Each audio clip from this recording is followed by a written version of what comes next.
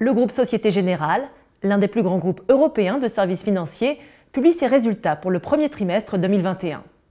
Frédéric Oudéa, bonjour et bienvenue. Bonjour. Vous êtes le directeur général de Société Générale. Quelle analyse faites-vous de ces résultats au premier trimestre 2021 D'abord, nous avons un très bon début d'année et nous enregistrons euh, de très, bonnes, euh, de très bonnes performances, de très bons résultats au premier trimestre. D'abord, il y a une forte augmentation du revenu hein, euh, par rapport à, l'année dernière. Ceci dans tous les métiers. Nous continuons à maîtriser nos coûts, qui sont en fait à peu près stables. Et puis, dans cet environnement encore incertain, on enregistre un très faible coût du risque. Nous avions beaucoup provisionné en 2020 et on confirme la qualité du portefeuille de crédit. Au total, notre résultat net euh, progresse euh, évidemment très fortement par rapport à l'année dernière, où il y avait de forts euh, impacts de la crise. On retrouve un, net redressement de la rentabilité. Et puis aussi, on affiche un niveau de capital qui continue à progresser, voilà, qui est la capacité à financer notre croissance future, bien sûr, à assurer la rémunération des, actionnaires. Bref, un très bon début d'année. Plus précisément, quelle a été la dynamique de vos principaux métiers? Alors quand on regarde plus précisément les différents métiers, commençons par la banque d'investissement et de financement et la banque de marché. Celle sur laquelle il y avait eu des questions l'année dernière et elle affiche une performance euh, exceptionnelle, alors dans des conditions de marché euh, très favorables, mais néanmoins c'est la confirmation euh, que nous avons su adapter les activités là où il le fallait et que bah, nous avons su aussi continuer à apporter de la valeur à nos clients, la valeur ajoutée à nos clients. Donc une performance sur les marchés qui est la meilleure depuis 2015, par exemple, pour nos activités actions. Une très bonne aussi activité de financement. Les entreprises sont actives dans la, période actuelle, euh, achètent d'autres entreprises, émettent des obligations, euh, pensent à, la sortie de crise. Nous avons également des très bonnes activités en services financiers. Je pense au métier, par exemple, de financement des flottes automobiles, qui est en train de pivoter vers des véhicules électriques, ou les activités d'assurance. Et puis alors en ce qui concerne l'activité de banque de détail, quand on regarde les revenus, c'est résilient. C'est résilient dans des géographies qui ont fait encore l'objet de confinements, partiels ou totaux. Il y avait encore, euh, bah, on sait bien, euh, dans un certain nombre de pays, euh, des contraintes qui, ont pesé sur ce début d'année. Néanmoins, on affiche par exemple de belles progressions de, nos commissions attachées à la gestion de l'épargne. Ensuite, sur les frais, on les a bien gérés partout. Ça, c'est un effort permanent que nous faisons dans tous nos métiers. Et puis, comme je le disais, sur le coût du risque, il, est bas également partout. Et ça, c'est une très grande satisfaction. Ça veut dire que ce n'est pas exclusivement dans les géographies qui ont fait l'objet d'appui des gouvernements, euh, de prêts garantis par l'État, euh, de fonds de solidarité. C'est aussi vrai dans nos pays plus émergents et c'est en particulièrement vrai dans les marchés et l'activité de financement de grande clientèle où, il n'y a même pas de coût du risque.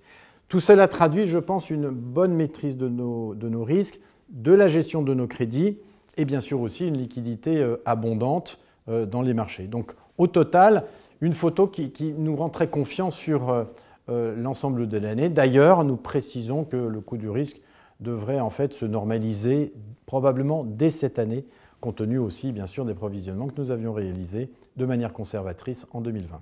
Enfin, quelles sont vos priorités pour les trimestres à venir? Alors la première des priorités, c'est bien sûr de continuer à accompagner nos, clients et, on a fait un travail, je trouve, formidable et merci à nos équipes pour accompagner nos clients dans la période de crise euh, aiguë en 2020 et en 2021 euh, pour, je le pense, les accompagner dans la sortie progressive de crise.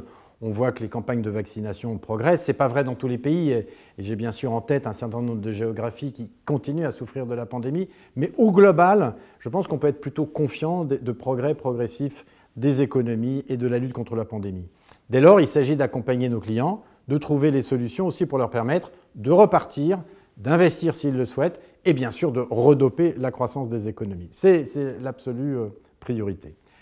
Deuxième priorité, on a lancé toutes sortes de chantiers stratégiques la combinaison de nos deux réseaux en France, qui continuent à avancer euh, au bon rythme euh, dans un dialogue social nourri.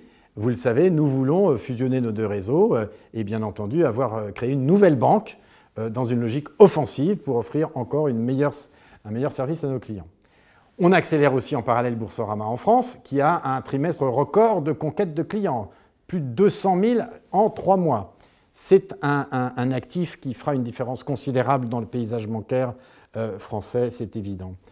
Ensuite, sur tous les territoires étrangers, en banque de détail, en services financiers spécialisés, profiter du rebond des économies et une nouvelle fois de transitions qui se font, je pense au métier euh, de gestion de flotte automobile, puisque euh, il y a aussi beaucoup d'appétit pour un usage différent de la voiture. Pas la propriété, mais la location, l'usage de la voiture. ALD est un leader mondial et on veut évidemment accompagner la croissance d'ALD.